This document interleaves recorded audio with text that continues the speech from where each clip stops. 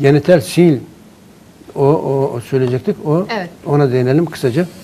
Hocam e, genital sil, genital herpes çözümü var mı bunların? Çünkü kadınların çok fazla problem yaşadığı konulardan birisi genital sil.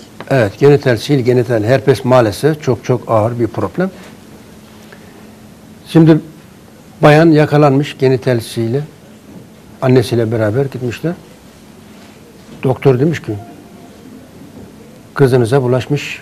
Nasıl bulaşmış? Cinsel yolla olabilir demiş. Kız da diyor ki ben bakireyim. Edirne'den bir arada annesiyle kavga yapıyorlar. Telefondalar hala kavga devam ediyor. Dedim ya dur kavganız dursun bitsin bir an önce bir konuşun ben ne anla- anlamadım bir şey. Evet. Kavgayı sonra yaparsınız. Önce bana söyleyin nedir problem? Genital sil. E diyor ki annesi doktor cinsel yolla bulaştı diyor. Kızı diyor ki hayır ben bakireyim böyle bir şey yapmadım diyor. Dedim ki doktorunuz niye söylemiyor? Bu hijyenik olmayan tuvaletinde bulaşıyor. Evet. Öpüştü sarıldı ondan da bulaşır. Yani öyle bu diğer virüs bakteri gibi hemen ölen bir şey değil. Klozete kalıyor ölmüyor hemen. Diğer bakteri ve virüsler mantarlar mantar da kolay kolay ölmüyor. Klozette kalıyor yapışıyor. Kişi orayı iyice silecek ki değil mi? Alkolle ondan sonra Evet. temizleyecek vesaire ki ondan sonra belki yok olabilir. Yani o da herkes bu yanında ilaç taşıyacak hali yok her klozete gittiğinde. Hi- Hijyenik olmayan tuvaletten bulaşmıştır dedik. Ha öyle mi olabilir mi dediler. Tek Sakinleştiler. Ha, biz onlara iksir, aloe vera jel. İksir her türlü virüsü yok eder. Her türlü. Neden, nasıl, de niçin yapıyor? buna değil mi hocam? Bağışıklık sistemini güçlendiriyor. Efendim? Sil de dahil buna. Tabii tabii. Bağışıklık sistemini güçlendiriyor. Şimdi ben bunu nereden biliyorum? İlk benim küçük oğlum sürekli boğazı şişiyor. Bademcikleri şişiyor. Ceviz kadar oluyor. Dışarı çıkıyor dondurma yiyor benden habersiz. İki üç gün sonra bademcikleri şişiyor. Doktoru diyor ki ameliyat olacak. Çocuğum gel buraya diyorum.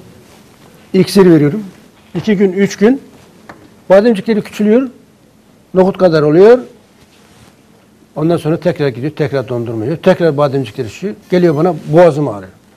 İksir kullan. Böyle böyle. Olmayacak dedim ya. Bu sefer ben dikkat edeceğim. Sabah, öğle, akşam sürekli yanıma geleceksin. Ben vereceğim. Sen yapmıyorsun bu işi.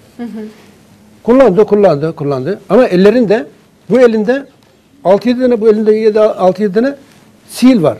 Evet. Kullandı 6 hafta.